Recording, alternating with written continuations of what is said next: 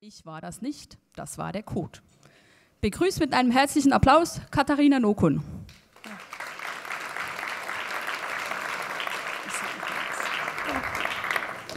Technik ist neutral, Code ist objektiv, Maschinen entscheiden gerecht. Das ist alles Bullshit. Das werden wir jetzt erfahren. Wieso?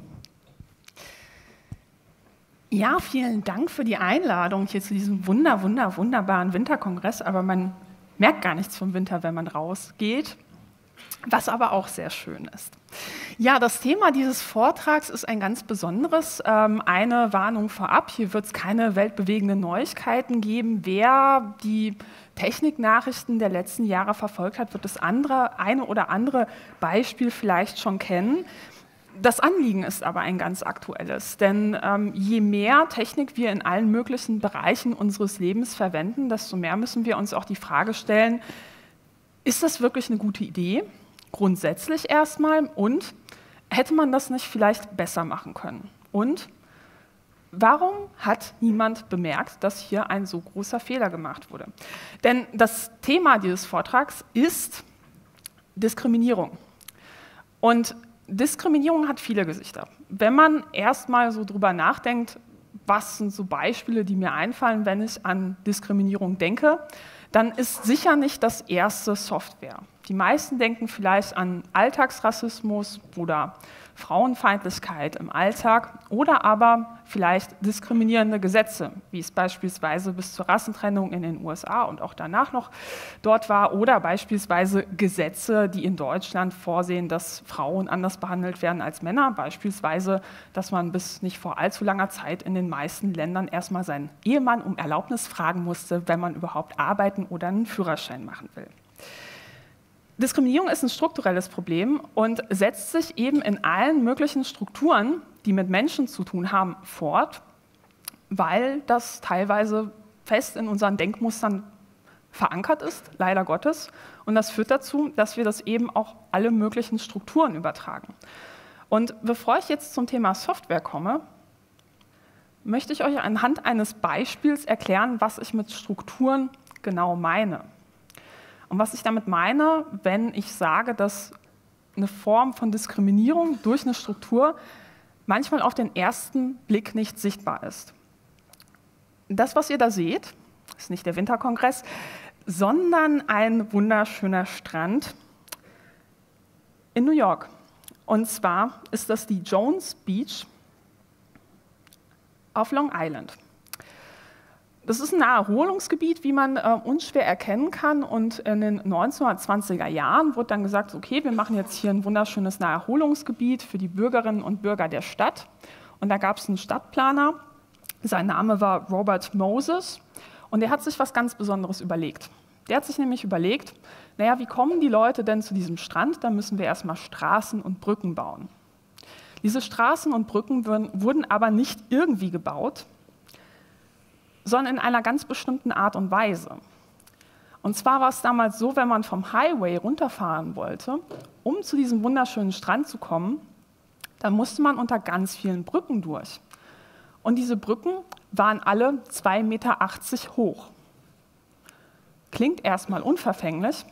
Wer aber weiß, dass die öffentlichen Nahverkehrsmittel in New York damals Busse eine Höhe von 3,50 Meter hatten, wusste, dass diese Struktur eine ganz bestimmte Folge haben wird. Und zwar war es so, dass die weiße Mittelschicht in den Jahren darauf so einfach so zum Strand fahren konnte. Die hatten nämlich meistens irgendwann dann so einen Pkw, so in den 60ern, 70ern. Aber die ärmere Bevölkerung, vor allem aus den schwarzen, eher schwarzen Vierteln, die konnten sich das nicht erlauben nicht leisten, ein eigenes Auto früh zu haben zu dieser Zeit und die mussten mit dem Bus fahren und die Busse konnten diesen Strand damals aber einfach nicht so gut ansteuern.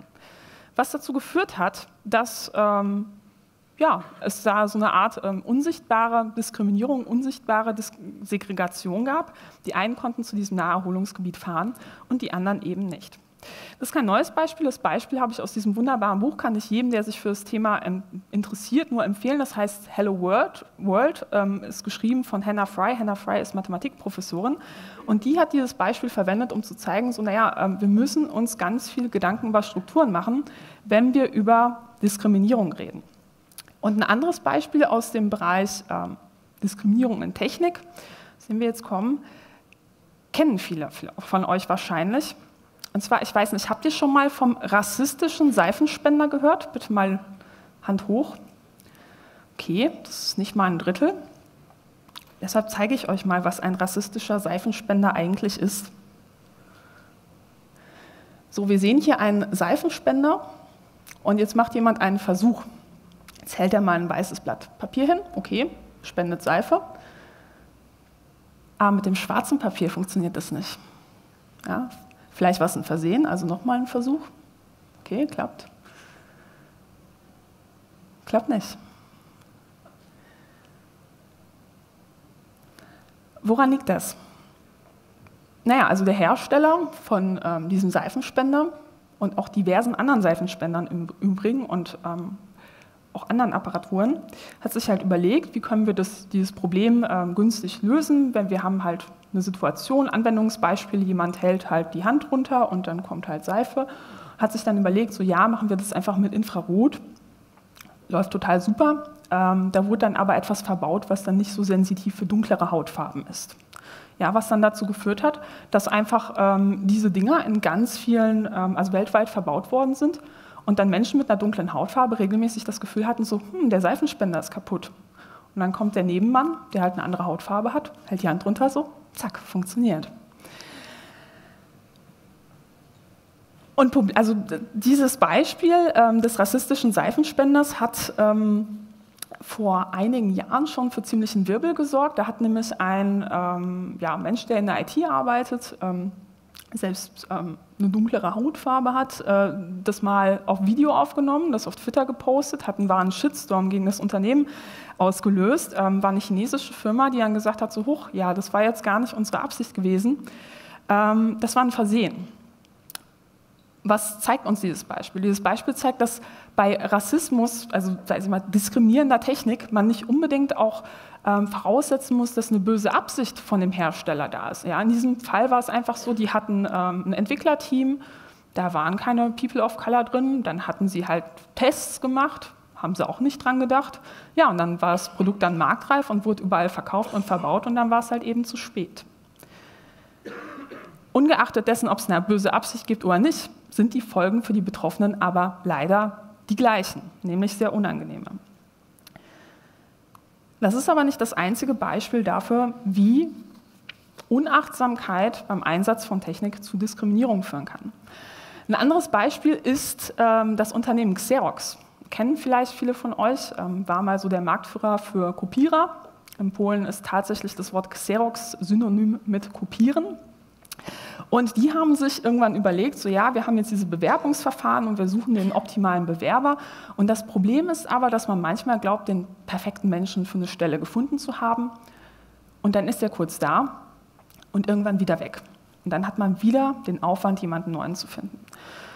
Und Studien haben herausgefunden, dass die Zufriedenheit am Arbeitsplatz unter anderem damit zusammenhängt, ob man pendeln muss oder nicht und wie lange der Arbeitsweg ist. Ja? Also je länger der Arbeitsweg, Pendler werden es wissen, desto ätzender ist es. Ja? Und desto höher ist der Anreiz, vielleicht doch ein anderes Unternehmen zu suchen. Wir haben also gesagt, wir machen so ein Punkteverfahren. Bei Bewerbungen gucken wir systematisch, wie weit wohnt der eigentlich vom Unternehmen entfernt. Klingt erstmal gerecht, klingt erstmal objektiv.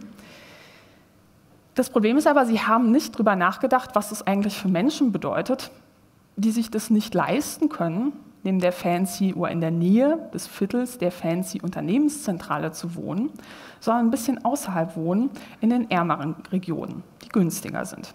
Beispielsweise jemand, der ähm, auf dem zweiten Bildungsweg nochmal einen Abschluss macht oder frisch nach dem Studium, da hat man nicht die Kohle unbedingt in der Villengegend zu machen. Dieser Fehler wurde dann entdeckt und dann hat man schnell gesagt, so, hm, okay, wir nehmen dieses Verfahren dann lieber doch nicht, sondern entscheiden uns dafür, diesen Punkt aus dem Bewerbungsverfahren rauszunehmen. So. In der Hinsicht muss man sagen, hat Xerox vorbildlich gehandelt. Sie haben den Fehler erkannt und beseitigt. Das Problem ist allerdings, dass in vielen anderen Bereichen ähm, von Bewerbungen mittlerweile automatisierte Systeme eingesetzt werden und dass den Bewerbern aber nicht immer klar ist, dass diese Systeme zum Einsatz kommen und wie diese Systeme zum Einsatz kommen. Ja? Also jemand, der beispielsweise eine Ablehnung aufgrund eines solchen Systems kassiert, wird ja in den seltensten Fällen informiert, so ja, sorry, du wohnst leider 500 Meter zu weit entfernt. Ne? Würden die meisten Unternehmen auch nicht machen. Ähm, es gibt tatsächlich mittlerweile ziemlich viele Unternehmen, die sich darauf spezialisiert haben, unterstützende Software anzubieten, um den Bewerbungsprozess zu unterstützen. Ein Beispiel sind automatisierte Videoanalysen. Das heißt, man hat ein Bewerbungsgespräch, das führt man nicht mit einem menschlichen Recruiter oder vielleicht ist der auch da, aber eigentlich wird da Videomaterial erstellt, was dann automatisiert analysiert wird. Wie spricht jemand? Wie ist die Körpersprache? Was für einen Eindruck macht er? Ist er ordentlich gekleidet? Wie ist die Mimik? Wie sind die Reaktionszeiten? Hat er einen Spicker? Das sind alles so Möglichkeiten, was man dann automatisiert rauslesen kann. Das Problem ist allerdings, manchmal weiß ich ja gar nicht, dass so ein System mitläuft. Und wer sagt mir eigentlich, dass die Kriterien gut sind? Und wer sagt mir eigentlich, dass dieser Algorithmus nicht vielleicht auch einen bestimmten Dreh drin hat, dass ich vernachlässigt werde? Klasse, oder diskriminiert wäre. Klassisches Beispiel, stellt euch mal vor, jemand ist voll der gute Programmierer, aber der ist halt eben auch Autist. Das heißt, seine Körpersprache ist eine vollkommen andere. Wenn ich also ein automatisiertes System habe, was sich am Durchschnitt orientiert, wird dieser immer als ein bisschen komisch dargestellt werden. Das kann zum Problem werden. Es gibt auch noch viele andere ähm, Dienstleistungen für Unternehmen beim Bewerbungsprozess, die auch schon fast so einen esoterischen Charakter haben. Ja, also wenn man sich mal den Markt in den USA anschaut, dann findet man unter anderem Dienstleister, die sagen, wir finden den perfekten Bewerber, indem wir screenen, was der sonst noch so online macht. Ne? Und dann hat unser super tolles Verfahren herausgefunden, dass Menschen, die zwei Social-Media-Accounts haben oder bei zwei unterschiedlichen Social-Media-Plattformen aktiv sind, dass sie besonders toll sind. Wer keinen Social Media Account hat oder nur einen oder drei, der ist nicht so gut wie der, der zwei hat. Ja? Ich weiß nicht, wie ihr das so seht. Ich würde das erstmal für sehr fragwürdig halten. Aber solche Dienstleistungen gibt es. Und es gibt tatsächlich Unternehmen, die sagen, so, das klingt total super, machen wir. Das sind halt Produkte, die verkauft werden müssen. Was das für Folgen hat für die Betroffenen, fragen da viele aber leider nicht. Und ein ähm, Hauptproblem, was ich bei so einem Einsatz in, insbesondere sehe, als Betroffener, wenn ich abgelehnt werde, ja, ich habe kaum Möglichkeiten, mich zu wehren, wenn ich nicht weiß, dass solche Systeme eingesetzt werden. Weil wenn das eine strukturelle Diskriminierung ist, die in diesem System verbaut ist, ja, wie soll ich das denn nachweisen, wenn ich nicht mal weiß, dass so etwas eingesetzt wird? Ein Beispiel, was in den Medien ziemlich rumgegangen ist, ist das der misogynen Bewerbungs-KI von Amazon. Was bedeutet misogyn? Ich dachte, das ist eine gute Gelegenheit, um einmal ein Fremdwort beizubringen. Misogyn bedeutet frauenfeindlich. Ja? Also Menschen, die so eher so die Frauenhasser sind.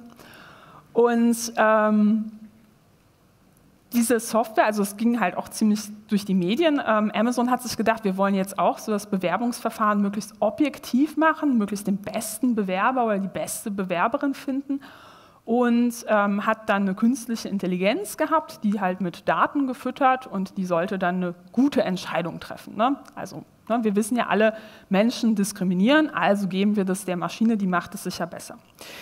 Die Maschine hat sich den Datensatz der Bewerber angesehen und festgestellt, die Mehrheit der Leute, die sich auf diese Tech-Jobs bewerben, sind Männer.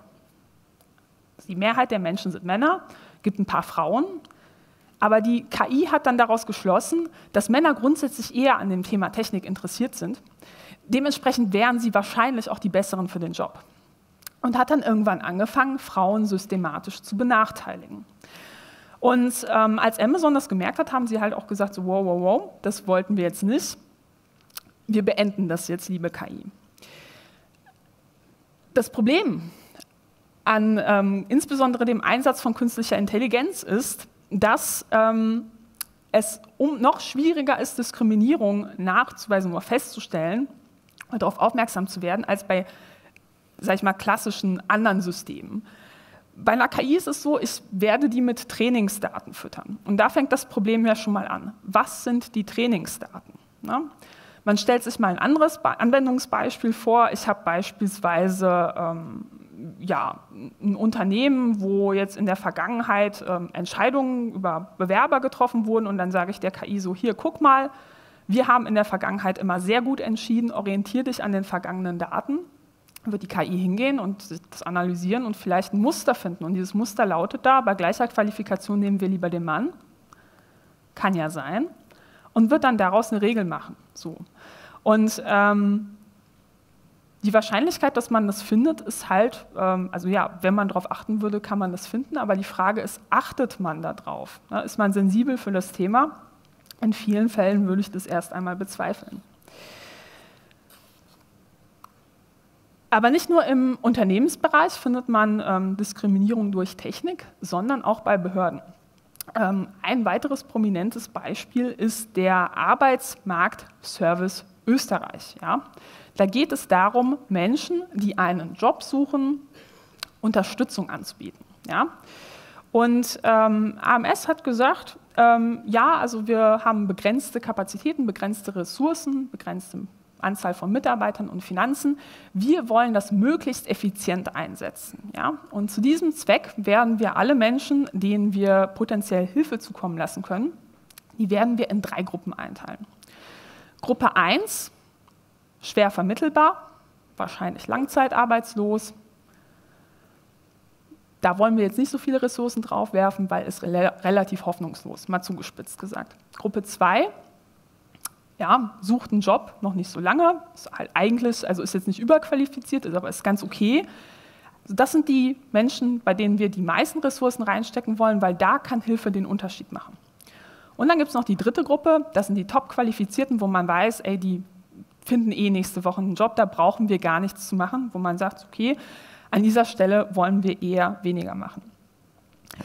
Und ähm, in Österreich hat man dann gesagt, so gut, ähm, Menschen haben halt einen gewissen Bias, äh, die diskriminieren, machen wir das halt auch wieder durch Technik. Und dann ähm, ist da halt ein Anbieter hingegangen, hat ein System gebaut und hat gesagt, das ist halt rein objektiv. Ähm, das orientiert sich nämlich an statistischen Daten aus der Vergangenheit. Ja?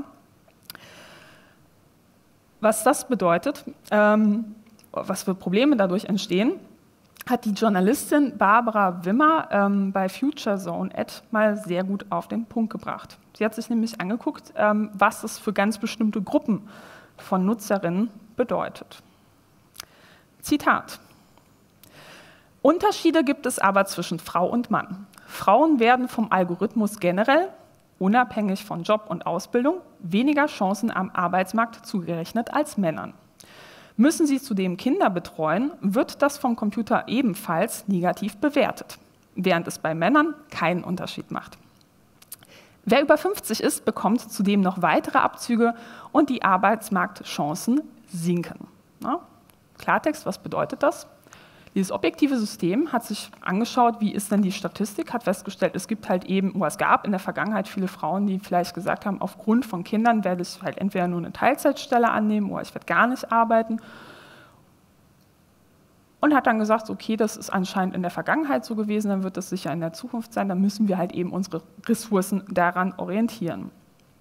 Dieses Beispiel zeigt vor allem eins, ein, also oft wird ja Technik als zukunftsweisend, innovativ, neu verkauft, aber eigentlich ist ein System, was Regeln für die Zukunft anhand von Daten der Vergangenheit baut, stockkonservativ. Ja? Da werden Entscheidungspfade aus der Vergangenheit genommen und einfach für die Zukunft übertragen, obwohl man ja sagen muss, naja, also gerade in Bezug auf Kinderbetreuung oder vielleicht Arbeitsaufteilung zwischen Mann und Frau hat sich ja unglaublich viel getan, allein in den letzten fünf oder zehn Jahren ja, durch MeToo. Und da muss man sagen, ähm, ja, ist es klug, grundsätzlich in einigen Bereichen, gerade wo wir viel gesellschaftliche Veränderungen zu haben, einfach fraglos die Daten aus der Vergangenheit zu nehmen und daraus Regeln zu bauen? Würde ich erstmal hinterfragen. Interessanterweise gab es ein ähnliches System auch in Polen. Das war tatsächlich auch so im, im Testbetrieb.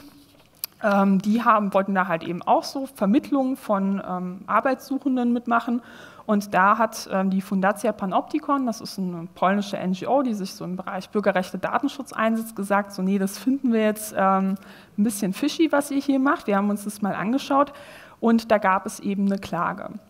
Und diese Klage wurde interessanterweise gewonnen, Das Gericht hat nämlich gesagt, so ja, wir haben uns diesen Algorithmus angeguckt oder dieses System, was jetzt hier Entscheidungen treffen soll. Und ähm, in Polen war es so, dass es anhand eines äh, gemacht wurde. Das heißt, die Menschen, die Arbeit suchen, die haben halt so einen Fragekatalog gekriegt und wie das so ist, meistens, wenn man von der Behörde was kommt, das, die meisten Leute füllen das dann einfach aus.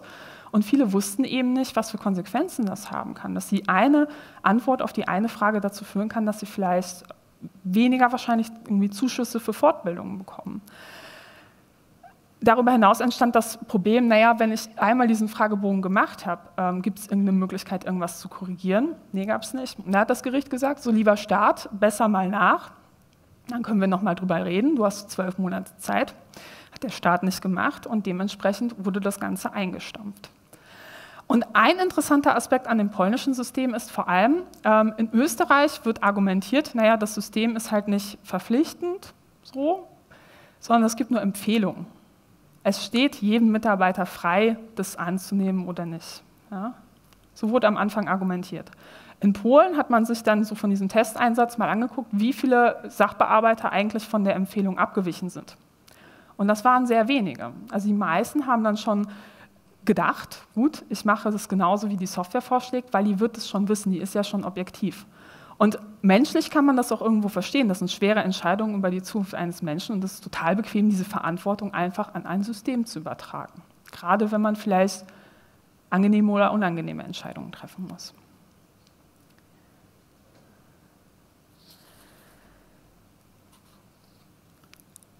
Also wir fassen zusammen, gerade im staatlichen Bereich hat man so dieses Bestreben, wir wollen die Welt besser machen ne, und nutzen dadurch ein objektives System. Besonders fatal wird das im Bereich der Justiz. Ja, also äh, gerade im Bereich der ähm, also Straf, also gerade im Bereich der Justiz gab es ziemlich viele Studien in den letzten Jahrzehnten, die sich ähm, wirklich im Detail angeschaut haben, treffen Richter eigentlich gerechte Entscheidungen? Und die sind zu sehr gemischten Ergebnissen gekommen. Ja? Also jeder Richter hat ja so einen gewissen Spielraum, wenn er ähm, einen Fall hat. Man kann halt sagen, so gut, der Angeklagte, der hat eine positive Entwicklungsoption oder der, der wird sich bestimmt bessern und dann mache ich die Strafe eher so ein bisschen geringer oder setze sie zur Bewährung aus oder ich glaube, das ist ein Wiederholungstäter und sage dann eben so, okay, jetzt muss hier auch mal harte Hand gezeigt werden. Und ähm, Studien haben sich angeguckt, wie treffen Richter eigentlich Entscheidungen, sind dann zum Ergebnis gekommen, so naja, wenn kurz vor der Mittagspause, kurz vor der Mittagspause das Gericht tagt, dann ist die Wahrscheinlichkeit, dass das Ergebnis nicht ganz so gut ist, halt eher höher. Ja, man ist genervt, man ist hungrig. Es gab eine Studie, die ähm, Richtern ihre eigenen Fälle vorgelegt hat, die sie selbst entschieden haben. Die haben das so ein bisschen verfremdet, die Namen verändert, das mit ganz vielen anderen Fällen gemischt und wollten gucken, wird der Richter oder die Richterin eigentlich beim nächsten Mal genauso entscheiden wie damals. Wenig überraschend ist rausgekommen, dass die Urteile ganz anders waren. Ja? Kann also unterschiedliche Gründe haben, vielleicht auch die Tagesform. Ja, und beim Geschlecht des Angeklagten kommt es manchmal darauf an, hat der Richter Kinder mit demselben Geschlecht? Ja? Weil man sich dann vielleicht eher näher fühlt oder weiß ich nicht. Ja, also das sind alles Faktoren, die Einfluss haben. Also diese, diese Vorstellung davon, dass Richter oder Richterinnen immer gerecht entscheiden, ist halt totaler Bullshit, muss man sagen. Ähm, also ne, ist man zu dem Ergebnis gekommen, wir wollen dieses äh, Problem irgendwie lösen. Was liegt näher, als dann da einfach Technik drauf zu ballern? Ja? In den USA gibt es ähm, mittlerweile in vielen Bundesstaaten Systeme, die Empfehlungen dafür abgeben, wie das Strafmaß aussehen soll. Ne? Da können sich die Richter dann so ein bisschen orientieren. Wenn sie gerade hungrig sind von der Mittagspause, können sie ja vielleicht stattdessen auf die Software hören. Und ähm, hat man sich total gut vorgestellt. Ähm, und eins dieser Systeme hat sich mal die Plattform ProPublica genauer angeschaut und darüber einen sehr kritischen Bericht veröffentlicht. Ja, also da gibt es so dieses System, wir haben einen Beschuldigten oder eine Beschuldigte und das empfiehlt dann so eher hartes Strafmaß oder eher nicht so hartes. Ne? Also wird, ist die Wahrscheinlichkeit einer Wiederholungstat eher hoch oder gering. Und Publika hat sich, hat sich ganz viele Fälle angeschaut und interessanterweise festgestellt, hoch, die Menschen mit einer dunklen Hautfarbe haben systematisch eine schlechtere Prognose. Und das sind jetzt so zwei Fälle, die sie mal gegenübergestellt haben. Ja, also beide Beschuldigte haben Gegenstände im Wert von 80 US-Dollar geklaut. Ja? Die Frau hat ein Kinderfahrrad geklaut, also Gelegenheitsdieb kann man sagen, das stand da unabgeschlossen und dann ja, wurde sie erwischt. Ähm, der Mann hat ja, Gegenstände in einem Laden geklaut im Gegenwert von 80 Dollar. So, jetzt äh, hat die Software rausgeschmissen, ähm, dass die Frau eine Wiederholungs-, also hohe, hohes Risiko einer Wiederholungstat hat. Ne? Eine 8 hat sie bekommen. Das ist eine ziemlich hohe Punktzahl und der Mann hat eine 3 bekommen. Jetzt ist es interessant zu wissen, was der Hintergrund dieser beiden Personen ist. Ne? Also die Frau hatte vorher so ein paar Jugenddelikte als Minderjähriger, aber alles nicht so schlimme Sachen. Ne? Und wie gesagt, sie war dann noch jünger. Der Mann hatte bewaffneten Raubüberfall. Ja, also die Software, die Software hat dann so diese Empfehlungen abgegeben und ProPublica hat sich dann natürlich auch bei den ganzen untersuchten Fällen angeschaut, wie ist es denn weitergegangen. Also wenig überraschend hat der Typ mit dem bewaffneten Raubüberfall dann wenig später halt noch so einen richtigen Bruch gemacht und dann halt so im vierstelligen Bereich eher Sachen entwendet und die Frau, ja, war eine unbescholtene Bürgerin danach. Und jetzt fragt man sich, also die haben halt wirklich viele Fälle untersucht und festgestellt, so, okay, die Menschen mit dunkler Hautfarbe kommen da ziemlich systematisch schlechter bei weg. Woran kann das liegen? Und haben eben gesagt, so ja, dieser Algorithmus scheint Algorith äh, rassistisch zu sein irgendwie. Ne?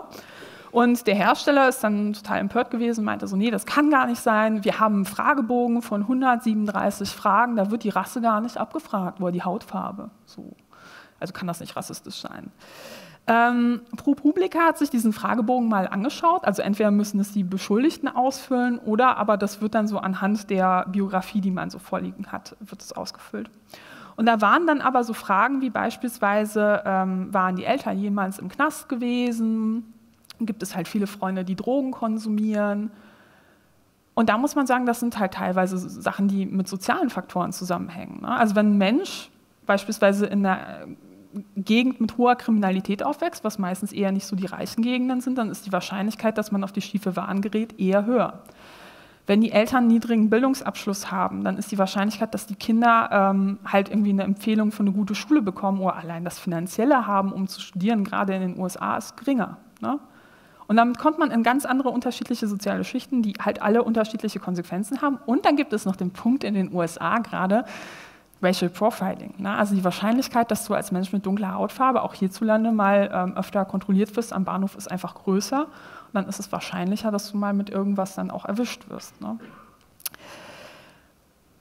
Das heißt, ähm, obwohl man halt das Primärmerkmal, das halt so diskriminierend ist, da halt nicht abgefragt hat, war das Ding hochgradig diskriminierend. Und das Problem an der Geschichte war halt auch, dass das Unternehmen dann gesagt hat, so naja, also die genaue Gewichtung, wie diese Magie der Risikobewertung funktioniert, die können wir jetzt auch nicht offenlegen, das ist ein Geschäftsgeheimnis. Ne? Und ich weiß nicht, wie ihr das seht, aber ich finde, das ist hochproblematisch, denn Gesetze kann ich nachlesen, aber eigentlich entscheidet ja hier viel mehr der Algorithmus als das Gesetz, wenn der Richter sich hauptsächlich daran hält. Und dann wäre es schon interessant, das zu kennen. Ne? Ein anderer Polizeibereich ist mindestens genauso ähm, schwierig, und zwar das Beispiel Predictive Policing. Ne? Also es ist halt so diese ähm, Magie von, ich werde präventiv erkennen, wer hier in diesem Raum demnächst ähm, sich strafbar machen wird. Ne? Also man versucht anhand der Vergangenheit Risikogruppen zu bilden, um dann beispielsweise zu sagen, wir machen eine Gefährderansprache. Ne? Hat sich die Stadt, Stadt Chicago gedacht, die haben sich überlegt, wir haben jetzt Faktoren und einen super objektiven Algorithmus, der wird uns sagen, was sind die zukünftigen Gefährder und dann schicken wir da so Polizisten, Sozialarbeiter hin und die werden mit denen reden und dann werden die sich das anders überlegen. Ne? Funktioniert voll gut. Ähm, ja, und dann hat man sich mal angeschaut, was sind denn eigentlich die Kriterien, nach denen diese Risikogruppen ausgewählt werden. Und ein Kriterium war halt, naja, war derjenige oder diejenige anwesend, wenn ein anderer Mensch verhaftet wurde. Ne? Das bedeutet, wenn ich halt in dem falschen Viertel lebe, ne, genau dasselbe Problem wie eben, ist die Wahrscheinlichkeit höher. Wenn ich auf der Risikogruppe stehe, dann ist die Wahrscheinlichkeit auch höher, dass wenn ich doch mal was mache, auch erwischt werde, weil die Polizei mich eh schon im Blick hat. Das heißt, es ist auch irgendwo in der Art eine self-fulfilling prophecy, kann man auch sagen. Und das Ganze hat in Chicago jahrelang zu großartigen Diskussionen geführt. Und ähm, ja, im Januar hat man sich dann entschieden, so ja, wir schaffen das ab. Das ist auch Quatsch, zum Glück.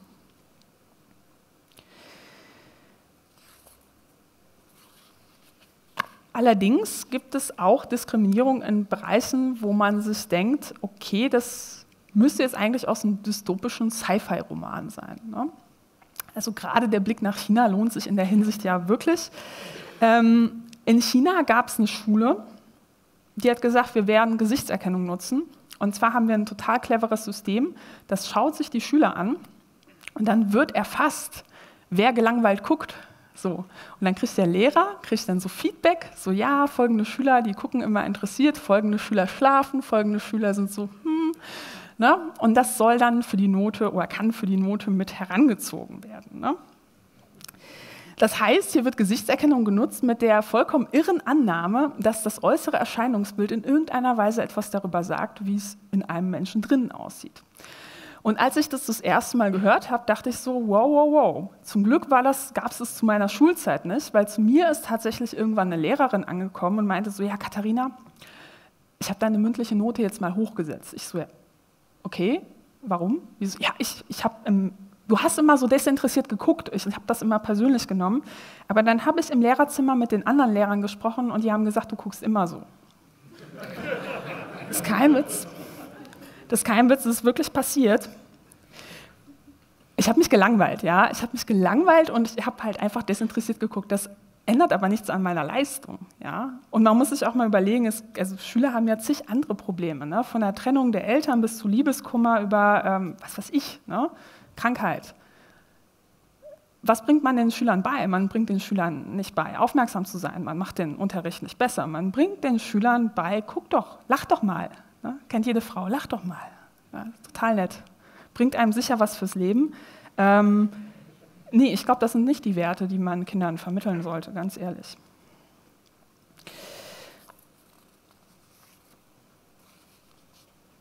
Das Problem ist, dass wir ähm, mittlerweile eine Form von Diskriminierung haben, die sich sehr stark von dem unterscheidet, was wir bis jetzt haben, beziehungsweise das nochmal auf ein anderes Level bringt und auch in Bereiche vordringt und also wirklich Formen annimmt, wo wir die einfach nur noch absurd sind. Ja, also das ist Anfang des Jahres so durchs Netz gegeistert. Das war eine Meldung, wo es hieß, ähm, Airbnb hat ein Softwarepatent für ein Produkt, was darauf ausgerichtet ist, die Online-Aktivitäten oder was vorschlägt, man könnte ja die, da wird dargelegt, wie man die Online-Aktivitäten von Nutzern analysiert und daraus messen kann, ähm, ob jemand halt eher negative Psych psychische Veranlagung hat, um es mal vorsichtig zu formulieren. Also die, das Online-Medium hat es halt ausgedrückt, ne? also die haben ein Patent, ähm, das sagen kann, ob du ein Psychopath bist oder nicht. Ja. Hintergrund ist, dass Airbnb, ähm, oder ein Grund, warum Airbnb so etwas vielleicht ganz sinnvoll finden könnte, ne, ähm, ist die Tatsache, dass es ja tatsächlich Beschwerden gibt von Airbnb-Nutzern, die halt irgendwie ähm, angegriffen wurden von ihrem Haus. Ne. Gerade als Frau ist es manchmal nicht so ganz unproblematisch und Airbnb könnte das natürlich durch eine Software lösen. Ähm, ja, und ein, eins von den Unternehmen, was sie aufgekauft haben, hat halt eben dieses Patent. Und dann gab es im Netz viel Diskussion von, das reichte von bis, wow, krass, so weit ist die Technik, die können also ermitteln, wer ein Psychopath ist, das ist ja richtig krass.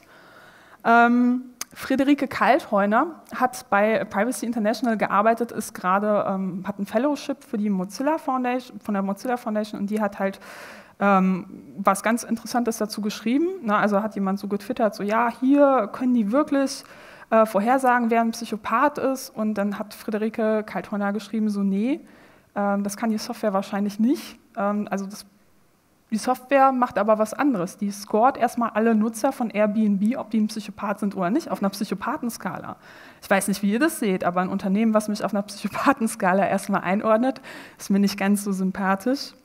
Ähm, Fun Fact am Rande: Es gibt Studien zum Thema Verteilung von ähm, Anteile von Menschen mit psychopathischen Charaktereigenschaften in der Gesamtbevölkerung. Die haben festgestellt, gerade im Top-Management gibt es besonders viele.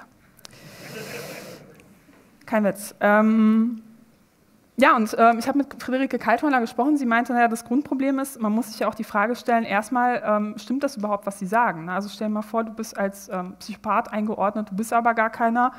Ähm, was sind die Kriterien? Keine Ahnung. Wie kommst du da raus? Keine Ahnung. Ähm, Gibt es irgendwann andere Unternehmen, die dann auch sagen, ja, also ob du einen Kredit kriegst, hängt dann davon ab, wie viele Ausrufezeichen du letzte Woche ähm, auf Social Media gemacht hast?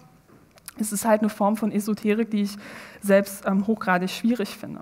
Das sind halt alles Schubladen. Ne? Also Schubladen, in die Menschen gesteckt werden, wo man immer davon ausgehen muss, wenn es Schubladen gibt, dann wird es Leute geben, die da rausfallen. Ne? Und ganz davon abgesehen muss man sich ja fragen, ähm, wie legitim ist, dass es überhaupt diese Schubladen gibt. Ne? Also wollen wir x-beliebigen Privatkonzern, bei dem wir uns eine Wohnung mieten, hallo, äh, erlauben halt irgendwie uns zu behandeln, als wären die unser Psychologe oder was. Ne? Anhand von Hokuspokus-Kriterien. Ähm, das führt dazu, dass wir halt eine Ökonomisierung auch von privaten Lebensbereichen haben, ähm, die mehr als obszön ist. Ne? Also wenn wir da davon ausgehen müssen, dass solche Systeme legal wären und eingesetzt werden, dann ähm, überlegt man sich dreimal, wie viele Ausrufezeichen man auf Social Media setzt und was man vielleicht ähm, fett schreibt oder nicht oder ob man überhaupt noch irgendwas schreibt. Ja, andererseits, wenn man keinen Account hat, dann ist man auch wieder verdächtig.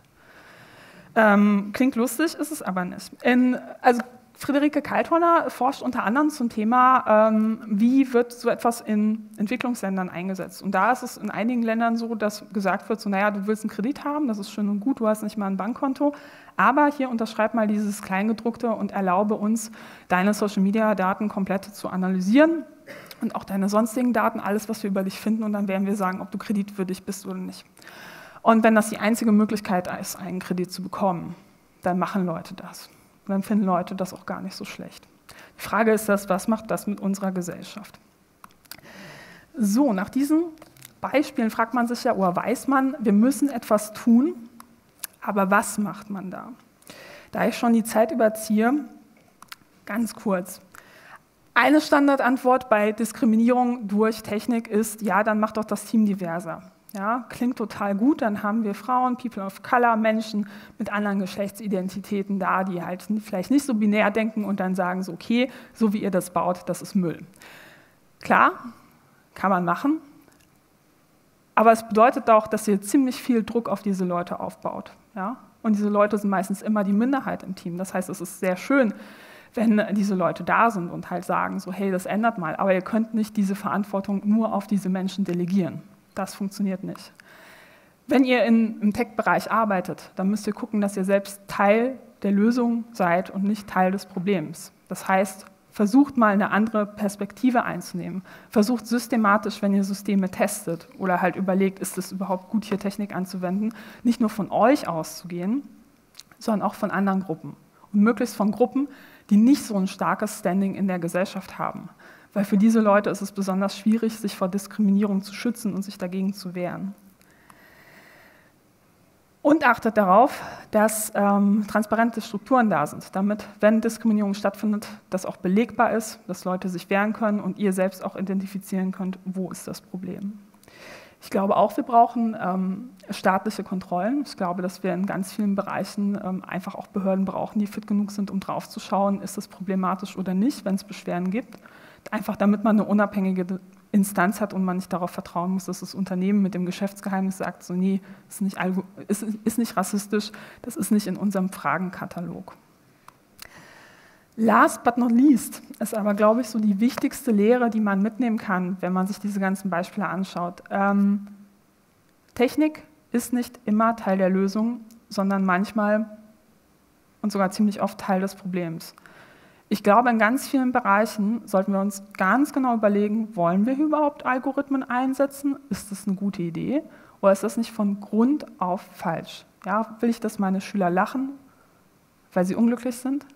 Oder will ich, dass sie einen guten Unterricht haben? Was ist das Ziel? Was ist das Problem? Und dann kann ich mir überlegen, wie ich das löse. Vielen Dank.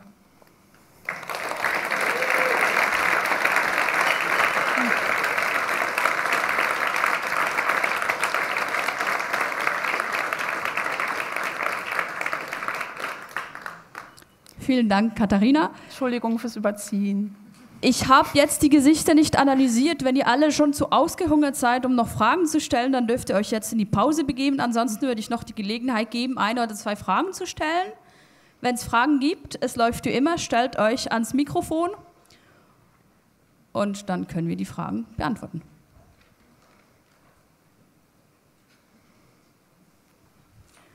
Bitte schön.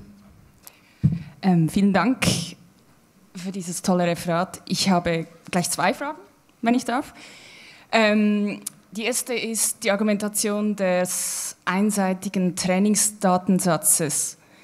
Wie siehst du das beim Thema Gesichtserkennung im öffentlichen Raum? Weil, weil da ist ja, wird ja gleich argumentiert, ja, die Gesichtserkennung, also Clearview zum Beispiel, ist nicht genügend präzis, hat dunkelhäutige Menschen nicht richtig identifiziert, die wurden dann gleich festgenommen, wieder freigelassen. Also trainieren wir dann diese App gleich besser und, mhm. und dann, also dann, ich finde, so diese Argumentation führt ja in diesem Thema ein bisschen zu einer Sackgasse, als wenn wir per se über Gesichtserkennung mhm. ähm, diskutieren. Oder wie siehst du das? Ja, also ähm, habe ich aus Zeitgründen tatsächlich noch weggespart, äh, wegrationalisiert. Nee, also das wollte ich auch nochmal ansprechen. Es gibt tatsächlich diese ähm, Studien, die eins eindeutig belegen. Ne? Also wenn der Testdatensatz wenig Menschen mit äh, nicht weißer Hautfarbe beinhaltet, bedeutet das, dass Gesichtserkennungssysteme da weniger exakt sind. Oder beispielsweise bei Frauen, weil der Trainingsdatensatz von meistens weniger Frauen beinhaltet. Und ähm, ich finde klar, man kann halt momentan noch viel argumentieren, gerade bei Gesichtserkennung im öffentlichen Raum. So, es ist nicht exakt, es gibt so viele Fehlalarme und das ist auch der Fall, mhm. ja. Ähm, aber ich glaube, das ist nicht das zentrale Argument gegen Gesichtserkennung im öffentlichen Raum oder in vielen Bereichen, weil irgendwann werden diese Systeme ziemlich gut funktionieren. Irgendwann wird es wenig Fehler geben. Die Frage ist aber, wollen wir grundsätzlich ähm, ja, eine flächendeckende Überwachung, also wollen wir ein Kennzeichen an der Stirn tragen? Das ist es ja eigentlich, was, was dann passiert. Ne? Und ich finde, das ist halt so ein klassisches Beispiel für, Technik ist nicht immer Teil der Lösung, sondern manchmal Teil des Problems. Also da würde ich sagen, also gar kein Technikeinsatz in diesem Bereich, Gesichtserkennung im öffentlichen Raum, will man nicht, weil man wollte ja vorher auch nicht, dass die Leute sich ihren Namen auf der Stirn tätowieren. Mhm. Ne? Oder eine Nummer, damit zumindest der Beamte weiß, auf Entfernung, wer ich bin. Ähm, ja, also von daher ähm, vielen Dank für die Frage. Dann kann ich das noch ergänzen. Ja, vielen Dank auch. Und noch meine zweite Frage wäre, ja im Bereich jetzt ähm, Scoring. Also du machst ja mhm. oft sehr ähm, Datenschutzauskunft begehen. Mhm. Bei Amazon ja. ist das ja eine lange Geschichte. Würdest du uns raten, also beziehungsweise in der Schweiz ja haben wir die Möglichkeit noch nicht mit unserem Datenschutzgesetz, aber in Europa kann man ja, kann man ja Datenschutzauskunftsbegehren einfordern bei den Unternehmen. Ähm, kann man jetzt genauso einen Psychopathenscore bei Airbnb, kann man den jetzt ähm, einfordern? Also könnt, würdest jetzt du bei Airbnb nachfragen und sagen, ich möchte jetzt nicht nur die Daten, die über mich verarbeitet hat, sondern auch das Profiling und das Scoring, was ihr damit gemacht habt? Geht das? Ja, also das ähm, äh, habe ich vielleicht unklar ausgedrückt. Es ist nur ein Patent. Ne? Also es wird mhm. nicht eingesetzt. Und man sagt halt auch nicht so, man möchte es jetzt einsetzen, sondern viele Unternehmen haben strategisch ganz viele Patente für alles Mögliche. Und dann kaufen sie noch Tochterunternehmen oder andere Unternehmen auf, die auch Patente für alles Mögliche haben. Es ist eher ein Investment. Ähm, es ist fraglich, wie viel davon eingesetzt wird. Ne? Aber es besteht die theoretische Möglichkeit, das. Und ähm, also ich habe ja ganz viele Daten unter anderem bei Amazon angefragt und dann habe ich natürlich auch immer gefragt, so, ja, was, in was für Kategorien bin ich und so. Und da blocken die Unternehmen systematisch ab und sagen so, nee, das ist Geschäftsgeheimnis. Oder so der neueste Trend ist zu sagen, so, naja, wir haben das gar nicht mit ihrem Profil verknüpft, das wird on the fly gemacht. So, ne? Ist mega Ausrede und eigentlich glaube ich, dass ähm, da mal ein paar Klagen geführt werden müssten, die sich über mehrere Jahre erstrecken und ziemlich viel Geld kosten werden, um das klarzustellen, dass das mit rausgerückt wird. Aber momentan macht das kaum ein Unternehmen. Und das ist eben Teil des Problems. Ne? Also du kennst deinen Rohdatensatz, den kannst du abfragen mit ganz viel Nerven, ganz viel Zeit und ganz viel Glück kriegst du den dann, aber ähm, was daraus gemacht wird, siehst du nicht. Also bei Amazon war es so, dass ich 15.365 Klicks der letzten 14 Monate bekommen habe, mit bis zu 50 Angaben pro Klick. Und das Interessante wäre aber nicht zu wissen, was habe ich gemacht, das weiß ich ja, sondern was haben die anderen 100 Millionen Nutzer gemacht. So. Und weil man kann ja anhand dessen Muster finden. Ne? Beispielsweise Leute mit meinem Profil kaufen die sich nächstes Jahr einen Scheidungsratgeber in 90 Prozent der Fälle. Ne? Kann ja sein, würde ich gerne wissen. Ähm, so etwas sagt mir Amazon aber nicht. Vielen Dank. Ja. Gut, dann würde ich sagen, beenden wir diesen Vortrag für heute. Noch einmal einen herzlichen Applaus für Katha.